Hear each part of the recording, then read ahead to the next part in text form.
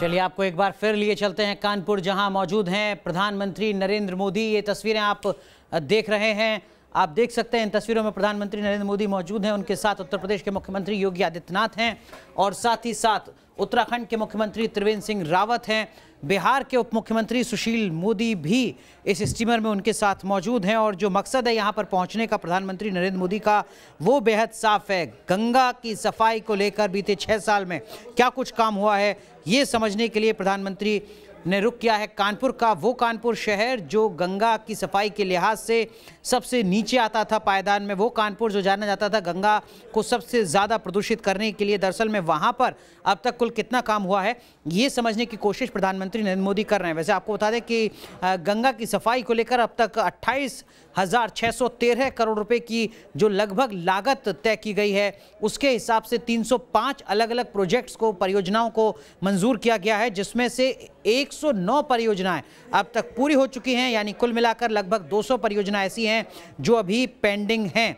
लेकिन इसी के साथ साथ कैसे नमामि गंगे अभियान को सफल बनाया जाए, इसके लिए तमाम कदम लगातार उठाए जा रहे हैं और जो गंगा है, उसकी शुरुआत कहाँ से होती है वो हम आपको बता दें, पूरा देश जानता है। गंगा नदी की शुरुआत उत्तराखंड के गंगोत्री से होती है और ये बंगाल की खाड़ी में मिल जाती है और इस दरमियान जो बड़े शहर गंगा के रास्ते में आते हैं वो गंगोत्री, ऋषिकेश, हरिद्वार, कन्नौज, कानपुर, इलाहाबाद, वाराणसी, बक्सर, पटना, हाजीपुर, मुंगेर, कटिहार, साहिबगंज, फरक्का, मुर्शिदाबाद, कोलकाता और इसके बाद बंगाल की खाड़ी। तो ये हज़ारों किलोमीटर का सफ़र तय करते हुए गंगा नदी उत्तराखंड से शुरू होकर पश्चिम बंगाल तक पहुँचती है और इसी दरमियान देश के अलग अलग हिस्सों में जो प्रदूषण है, उसकी मार भी झेलती है। लगातार शहरों की गंदगी गंगा नदी में मिलती रही है। यही वजह है कि 2020 तक अब गंगा नदी को साफ़ करने का लक्ष्य सरकार की तरफ़ से तय किया गया है और जब गंगा नदी को साफ़ करने का लक्ष्य सरकार ने तय किया तो सरकार के सामने चुनौतियाँ कहीं ज़्यादा थी।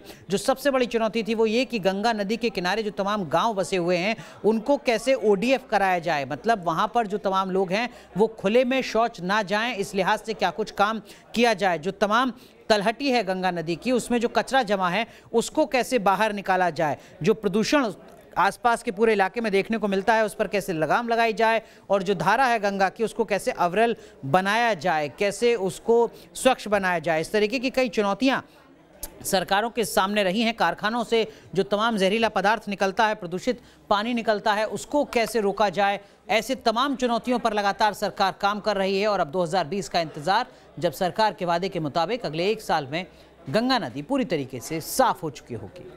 यहाँ रुक रहे हैं, कुछ देर के लिए तुरंत हाजिर होते हैं।